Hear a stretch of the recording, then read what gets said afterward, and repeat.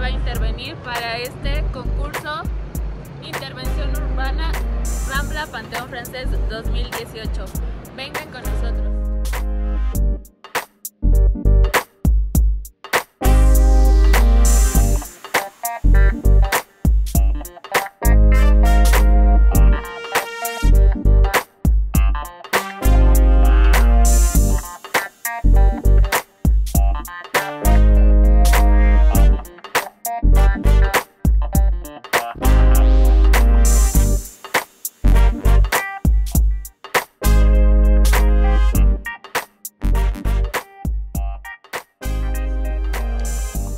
Hablar del Panteón Francés de la Piedad es regresar mucho tiempo atrás en la historia de nuestro país México.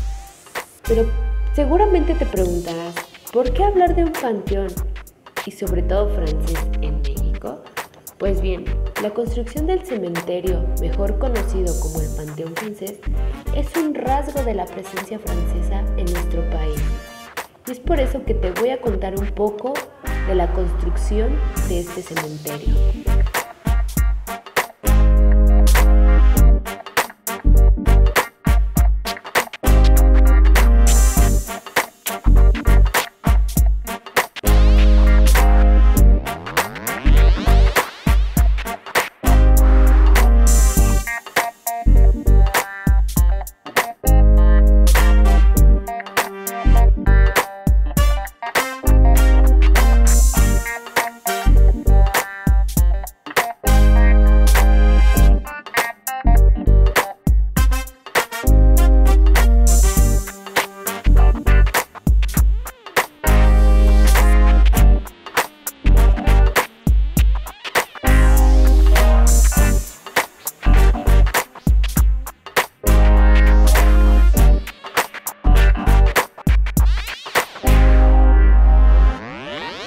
Comenzó durante 1842 cuando la comunidad francesa decide crear una institución que favoreciera a los suyos.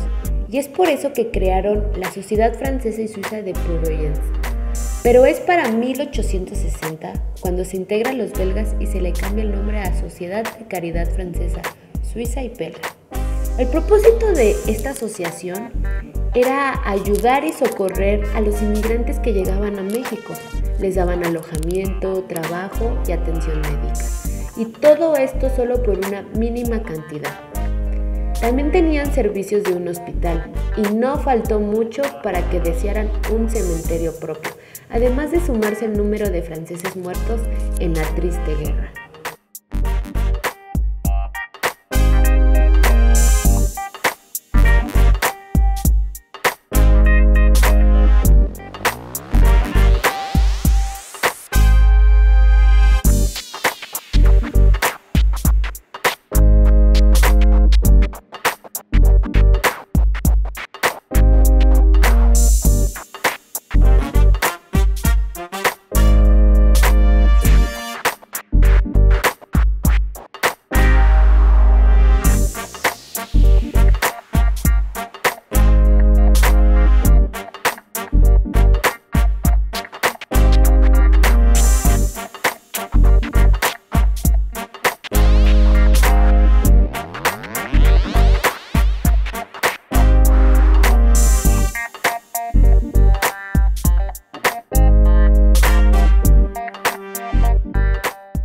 Gran proyecto del Panteón francés se lo encargaron al decano Ernest Masson, quien a petición de la asociación encontró un terreno seco, sin humedad y a poca profundidad al sur de la Ciudad de México, en el pueblo de La Piedad. Siguiendo y respetando los lineamientos de la ley, el Panteón francés comenzó su construcción y tomando como modelo arquitectónico los cementerios como el Père Lachaise de París, y el St. James Park en Londres.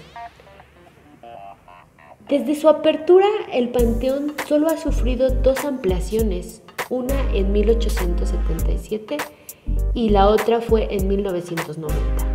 Fue para 1842 cuando el Panteón decide cerrar la venta de terrenos y se crea un segundo Panteón francés en San Joaquín, el cual aún se encuentra vigente.